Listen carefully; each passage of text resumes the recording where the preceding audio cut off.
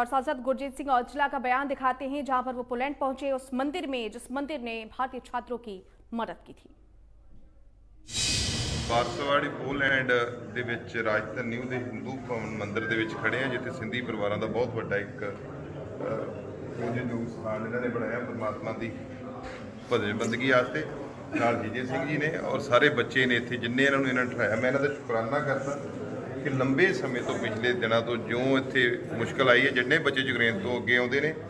ਇਹ ਸਾਰੇ ਪਰਿਵਾਰ, ਖਾਸ ਕਰ ਜਿਹੜੇ ਇਸ ਪੋਲੈਂਡ ਦੀ ਧਰਤੀ ਦੇ ਪਰਿਵਾਰ ਨੇ, ਇਹਨਾਂ ਨੇ ਬੜੀ ਵੱਡੀ ਮਦਦ ਕੀਤੀ ਹੈ ਔਰ ਸਾਰੇ ਬੱਚਿਆਂ ਨੂੰ ਆਪਣੇ ਕਲਾਵੇਂ 'ਚ ਲਿਆ ਔਰ ਬੱਚੇ ਇੰਨੇ ਖੁਸ਼ ਨੇ ਕਿ ਉਹਨਾਂ ਨੇ ਕਿਹਾ ਵੀ ਇੱਥੇ ਆ ਕੇ ਅਸੀਂ ਜਿਹੜਾ ਕਸ਼ਟ ਪਿਛਲਾ ਬਹੁਤ ਚੱਲਿਆ ਯੂਕਰੇਨ ਤੋਂ ਤੋਂ ਲੈ ਕੇ ਪੋਲੈਂਡ ਤੱਕ। ਹੁਣ ਤੱਕ ਪਰ ਹੁਣ ਇਹਨਾਂ ਨੇ ਉਹ ਸਾਰਾ ਚੀਜ਼ਾਂ ਤੇ ਸਾਨੂੰ ਭੁੱਲੀ ਹੈ ਵੀ ਅਸੀਂ ਆਪਣੇ ਪਰਿਵਾਰ 'ਚ ਬੈਠੇ ਹਾਂ। ਮੈਂ ਇਹਨਾਂ ਦਾ ਸ਼ੁਕਰਾਨਾ ਕਰਦਾ। ਤੁਹਾਡਾ ਬਹੁਤ ਬਹੁਤ ਸ਼ੁਕਰੀਆ। ਔਰ ਇਹੀ ਇੱਕ ਸਾਡੀ ਸੱਭਿਅਤਾ ਹੈ, ਇਹੀ ਇੱਕ ਸਾਡਾ ਮੁਹੱਬਤ ਹੈ, ਜਿਹਦੇ ਕਰਕੇ ਅਸੀਂ ਲੋਕ ਜਾਣੇ ਜਾਂਦੇ ਹਾਂ। ਸੋ ਬੱਚੇ ਵੀ ਬਹੁਤ ਖੁਸ਼ ਨੇ, ਬੱਚਿਆਂ ਨੇ ਕਿਹਾ ਕਿ ਸਾਨੂੰ ਇੱਕ ਵੱਖਰਾ ਤਜਰਬਾ ਮਿਲਿਆ, ਮੰਦਿਰ ਦੇ ਵਿੱਚ ਸਾਰੇ ਦੇਖੋ, ਸਾਰੇ ਮਤਲਬ ਜਾਤ ਪਾਤ, ਧਰਮ ਤੋਂ ਉੱਤੇ ਉੱਠ ਕੇ ਸਾਰੇ ਇੱਥੇ ਪਰਮਾਤਮਾ ਦੇ ਚਰਨਾਂ 'ਚ ਬੈਠੇ ਨੇ। ਇਸੇ ਤਰ੍ਹਾਂ ਗੁਰੂ ਘਰ 'ਚ ਸੋ ਸ਼ੁਕਰਾਨਾ ਸਾਰੇ ਦਾ ਧੰਨਾ ਜੀ ਤੁਹਾਡੇ ਸਾਰੀ ਬਹੁਤ ਦਾ। ਜੀ ਤੁਹਾਡਾ